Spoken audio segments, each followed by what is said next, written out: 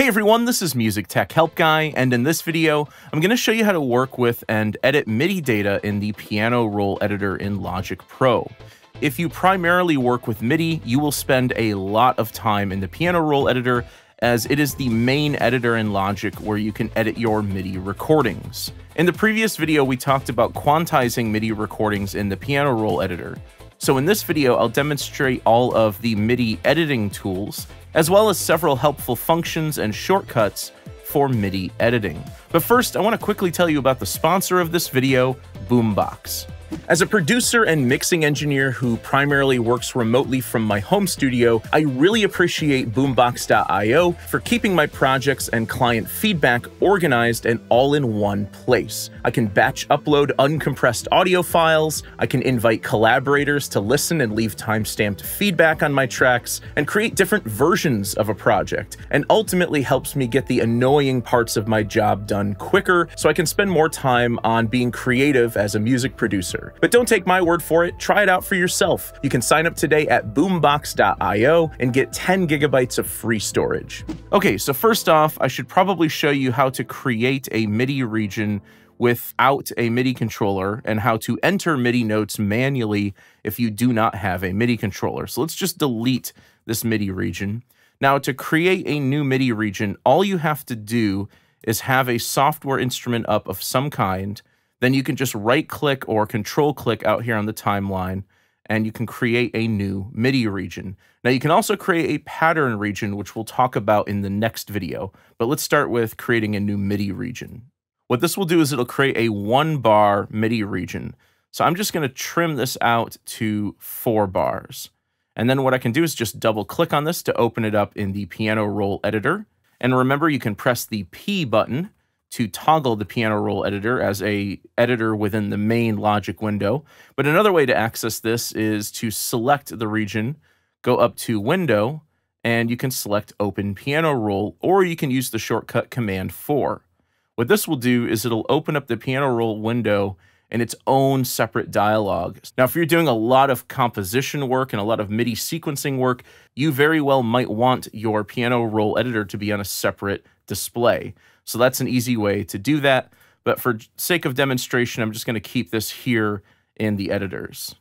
Now, just like the tracks area has several snap modes that affect how MIDI regions or really any regions in the tracks area are edited, how they snap to the grid or what grid divisions they snap to, the same exists down here in the piano roll editor and these affect the way that MIDI notes are edited, trimmed, moved, etc. You can choose to snap to the grid or not, and you can toggle this by pressing Command G. So this will toggle your snap on and off. And then you can also select between smart mode, bar mode, beats, divisions, ticks, and frames. You can also snap to specific straight values and triplet values or you can make the grid follow your time quantize. So whatever time quantize uh, value you've selected over here, that's what this does. If I say as time quantize, all of my edits will snap to whatever I've set over here in the time quantize menu. For demonstration purposes, I'm just going to set this to division. In the middle here, you have your piano roll editor tools. The tool that's on the left is your main left click tool. I typically just keep this on the pointer tool almost 100% of the time. And then the tool on the right is like a secondary tool or a command click tool. So right now this is set to the pencil tool. So when I'm just using my mouse normally, this is just the regular pointer tool. But when I hold command, this switches over to the pencil tool. So that's how that works. It's a quick way of switching between two different tools without having to constantly change the tool that you're on. Now, another way to quickly access tools in the piano roll editor, and this also works for the tracks area, is you can press T on your keyboard, and this will bring up a menu of all of your MIDI editing tools. Now, by default, if I select another tool here, like the scissors tool, this is going to assign this to the main left click tool. So I'll just press T, go back to the pointer tool. However, if you press T and then hold Command while making a tool selection, maybe I'll go with the Velocity tool here. If you hold Command, this will load this up as your secondary command click tool. So that's just another quick way to change out tools without having to constantly move the mouse back up to the tools selection. So let's start by adding some notes in with the pencil tool. So the main function of the pencil tool is to input notes manually with your mouse. So if I want to create a chord over here, maybe an A minor chord, I'll start down here on A and just click with the pencil tool. I can add in a C and an E. Now I have an A minor chord. Let's add a seventh to that and make it an A minor seven. Now, in addition to entering notes with the pencil tool, you can also click and drag while you're using the tool to affect the length or trim of the note. So if I want these to be a little longer, I can click and drag while I'm entering them or drag in and make them smaller. Now, one of the weird peculiarities about Logic's note entry is that Logic remembers the note length and velocity setting of the last note that you created. So for example, if I use my pointer tool to now trim this note, and then if I drag over it and change the velocity, if I go and create another note with the pencil tool, that next note will follow the length and velocity of the last note you created. So I found that a helpful little feature. Sometimes it can be annoying, and I don't believe there's any way you can actually turn that off. It's just a feature that's baked into Logic's piano roll editor. Now, as you're editing MIDI notes, if you drag over a note or create a note, you'll probably notice that the sound is playing, the instrument is playing. If you want to turn that off, you can click right here, and this turns off your MIDI output. You can also toggle this by pressing Option O, and this will toggle this on or off. Now, the one next to it is a red button. This is a MIDI input control that allows you to enter notes with something called step input. We'll talk about that in a future video. So for now, just keep that option off. However, if I don't want to hear these notes while editing, I can just turn off MIDI output and I can drag over notes freely without having a bunch of sounds coming through. Now, with the pointer tool, there's several things you can do with the pointer tool. Uh, as I just demonstrated, you can drag over a note or notes and you can trim the left or right side of a note to make it longer or shorter. You can also drag over notes and move them up or down to transpose them. So maybe I'll bring this down to E. And you can also duplicate notes. So if I make a selection and hold Option, I can duplicate these notes just like you can duplicate regions. And if I want to maybe just transpose a couple of the notes in this chord, I can click and drag up, and then I'll drag this one up as well. Now, there is a quicker way to transpose notes in Logic. If you select one note or multiple notes and you press Option up or Option down, this will transpose your selection up or down in semitones or half steps. So if I wanted to go from the key of A minor up to the key of C minor, I would just make sure that that first chord on A minor is transposed from A up to C, and now my chords are in a completely different key.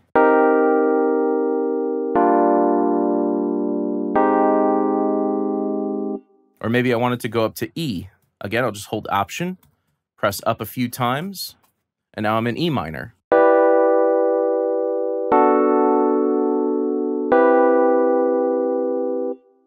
Additionally, I can drag over a note or a selection of notes and hold Shift Option and then press up or down, and this will transpose the selection in octaves. So let's say I want to drop these chords down an octave. I'll just press Shift Option down, and now we're down in a lower register.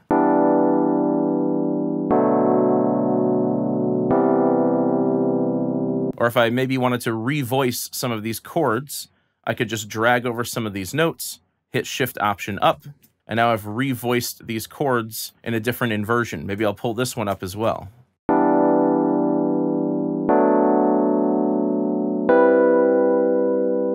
So option up and down is semitones, shift option up and down is by octave. Another MIDI value that we discussed in previous videos was velocity. Now, velocity can be adjusted on a note-by-note -note basis or for a whole selection.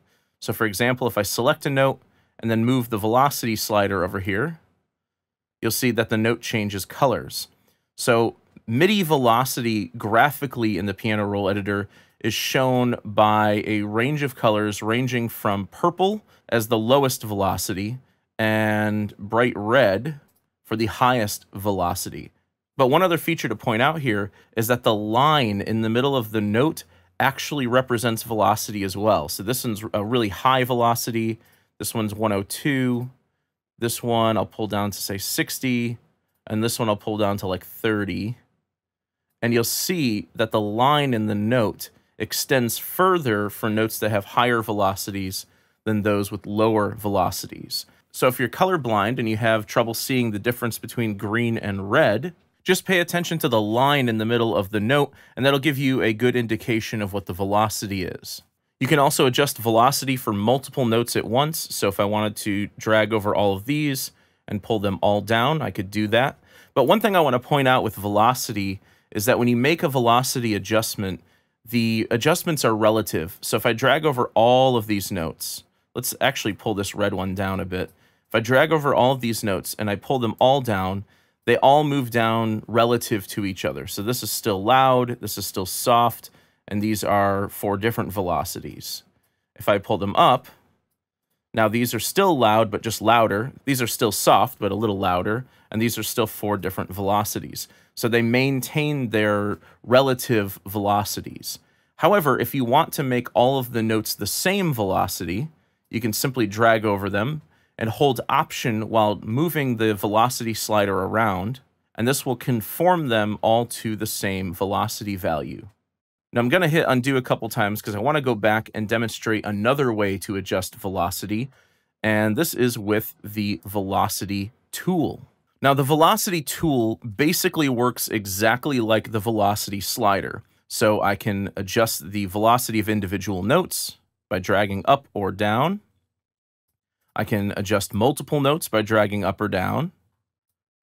And if I adjust a bunch of different velocities at the same time, again, it keeps the relative velocities between these notes. However, if I want to conform these all to the same velocity, I would just hold Option while using the velocity tool, and this will conform them all to the same velocity. Now, one thing you'll notice is if I drag on a note all the way down, it'll show you that's a velocity of 1, all the way up, a velocity of 127. But you might remember that in a previous video, I said that velocity is generally a range from 0 to 127, not 1 to 127. So where's 0? 0's not here because 0 is essentially a note off message. It basically turns the note off. So you wouldn't want a velocity of 0 because that would just make the note inaudible. Now, if these little help tags that pop up all the time are kind of annoying to you, you can actually turn them off. If you go up to Logic Pro, Settings, Display, under Windows here, you can turn off your help tags. And so now when I make a velocity adjustment or I hover over one of these controls, those little help tags won't be popping up all the time. Next up, let's talk about the eraser tool. It does exactly what it sounds like. It deletes notes. I almost never use the eraser tool because there's just no need. You can just click on a note and hit delete. Although I suppose it does save you one more keyboard press if you're going through and deleting just certain notes. The eraser tool for me has more useful features up in the tracks area than it does down in the piano roll editor. So again, I almost never use it, but it's there if you want to use it. The finger tool essentially is a trim or note length tool. What this does is it allows you to only adjust the length of notes without adjusting the pitch or position of notes. So notice there I tried to drag up and down and it wouldn't move the notes. It'll only adjust the trim. I don't really use this tool much either, but I do find it helpful when you are selecting a large number of MIDI notes and you want to trim all of them at once and you don't want to risk accidentally moving the notes or transposing the notes as could happen with the pointer tool. So that's really all the finger tool is good for is adjusting note length. Next up, we have the scissors tool. I'm to go ahead and just trim these back out here. The scissors tool allows you to separate notes, and this is dependent on the snap mode that you've selected. So if I just zoom in here a bit, I can select this chord, and then I can cut the chord right there, and maybe I'll cut it again here, and now I've created a new rhythm out of that chord. I'll do the same thing here, and I'll do the same thing here. And all of these edits are snapping to the grid lines based on the snap mode that I've selected.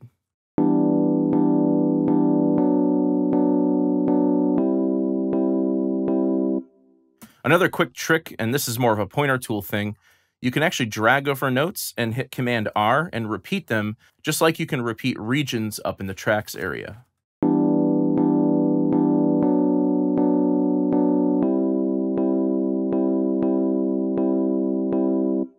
The next tool is the glue tool. This is the exact opposite of the scissors tool. You can drag over notes and then use the glue tool to join those notes back together. So this will get rid of all those scissor tool separations that it created in each of these chords. Next up is the mute tool, and this does exactly what it sounds like. You can use this to mute certain notes of a MIDI recording while leaving others. However, there is a shortcut for this that's really quick and easy. If you select a note or multiple notes and you press Control M, this will mute those notes and those notes will no longer play.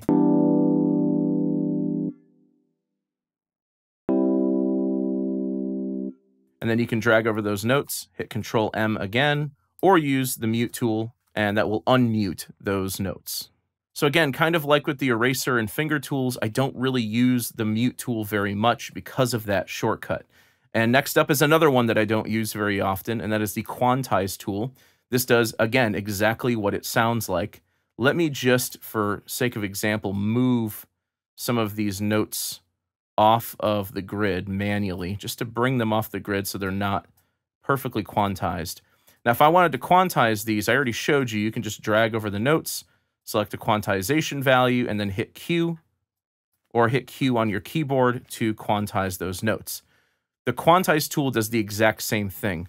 All it does is it takes place of the Q button over here, or the Q key on your keyboard. So the quantize tool will always follow the time quantize menu selection over here. However, there are some situations where the quantize tool is helpful. If I'm going through a really intricate MIDI recording where I want to quantize certain notes but not all of the notes, it can be really helpful for that kind of work, just going through and clicking on only the notes that you want to quantize. Next up is the zoom tool. We already talked about the velocity tool. The zoom tool is very simple. You drag over a selection to zoom in, you click again to zoom out. But this tool is basically useless because you can simply hold option with the pointer tool and get the zoom tool and hold option and click the zoom back out. And all of your zoom shortcuts work down here in the piano roll editor. So I can press command left and right for horizontal zoom, and I can press command up and down for vertical zoom. I can even click on the background and press Z to zoom to fit everything within the piano roll editor window. So again, I don't really use the zoom tool very much because of those shortcuts. Now for this video, we're going to skip the automation select tool and automation curve tool. We'll come back to these in a future video because we need to learn a bit more about automation and MIDI continuous controller automation first before we dive into these automation tools. However, the brush tool I will cover. What I'm going to do is I'm going to create a new track to demonstrate this and I'm going to create a new drum instrument. So I just have this.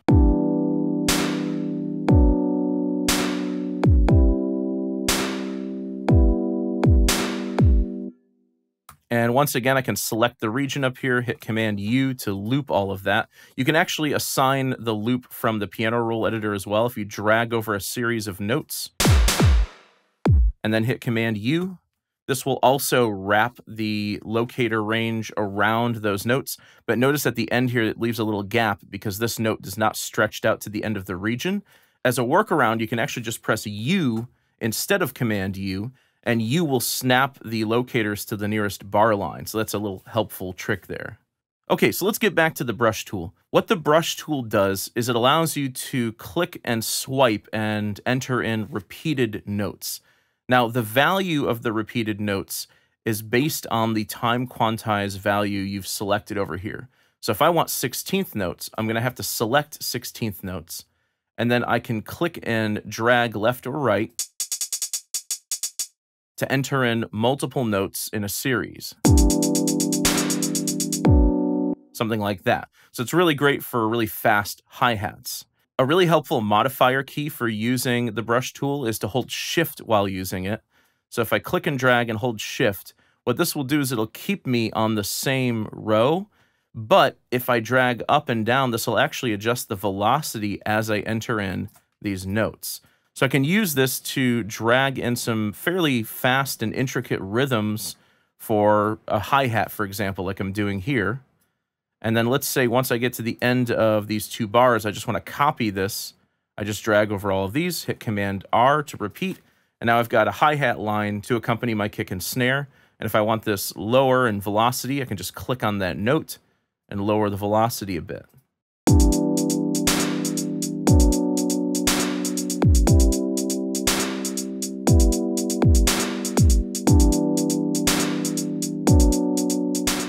If I switch this over to, say, an eighth note, I can use this to create an eighth note bass line.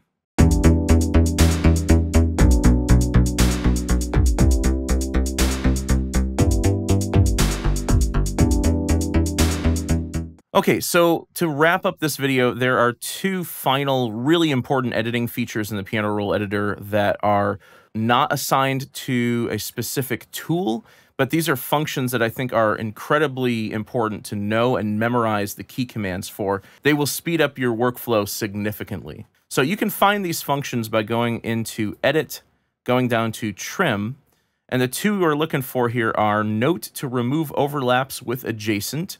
The key command for that is backslash. And then Note End to following notes, also known as Force Legato, which is Shift backslash. Let me demonstrate both of these. Now, when you record with a MIDI controller, it is very common for notes to overlap like this, especially if you're playing in melodic phrases. We tend to overlap our notes while we play. If you want to get rid of note overlaps, you can simply just drag over those notes and then press backslash. A little menu will pop up, just hit return, and this will shorten those notes to get rid of any note overlaps. So again, that's backslash. Additionally, when we're recording with a MIDI controller, it's pretty common for gaps to be left between notes where we may not want gaps between the notes. Maybe I want these to be smooth chords with no gaps in between each chord. One thing I'm going to do to prepare here is just trim up the back end of this MIDI region because when I apply this next function, this force legato function, this is going to push this very last chord out to the end of the MIDI region.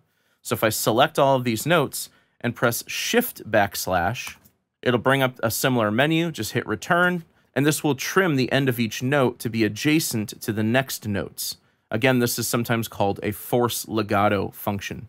So those are two really, really helpful features, getting rid of overlaps with backslash and getting rid of gaps between chords or notes with shift backslash. Those are huge time savers.